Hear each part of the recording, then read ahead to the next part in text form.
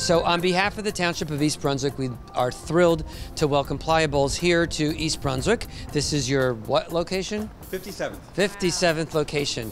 And we're thrilled to have them here. As most of you know, East Brunswick over the last year and a half has seen a boom in businesses coming our way through the Route 18 corridor, clearly showing that East Brunswick is attractive to businesses and we're back in business, which is why we have our own Chamber of Commerce here in the last year, year and a half that they've been in existence. They've morphed into a, a major part of this township and in, involved in almost everything that's involved with business here in East Brunswick. So we couldn't be happier. I'd like to introduce you both to um, Gary and Abby. Yes. Abby's a co-owner, and uh, Gary is the vice president of Playa Bowls. Maybe you can couple, a couple of words about where the store is located, what you actually sell, and your hours of operation. We're really excited to be in East Brunswick, and the store has been a big success so far. Our hours are 8 to 8.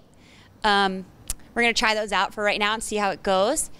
Um, we sell acai bowls, which is a berry from Brazil. That's our main product. Uh, we also sell smoothies, juices, oatmeal bowls, chia pudding, all healthy stuff. So come on by if you're around. So I'm obviously an East Brunswick resident, and this is by far my uh, favorite store that we've opened up. Uh, we put a lot of extra attention to detail in this store, really set it up to uh, differentiate from all of our other stores. So for all the Playa fans that have been to so many stores, when you come in here, you're really going to see a huge difference. So we're looking forward for everybody coming out and having you uh, as a guest over here. So, with that having been said, we want them to have many years of success in East Brunswick and as many residents from East Brunswick and the surrounding towns. East Brunswick, as most people know, is the center of New Jersey. We have 11 bordering towns. We have a highway that boasts about 100,000 cars a day.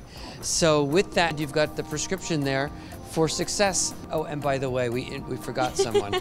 we have Pina, This is as in colada, uh, to join us for the opening. So, with that said, shall we do the, the honors? Yes. Thank you. Congratulations.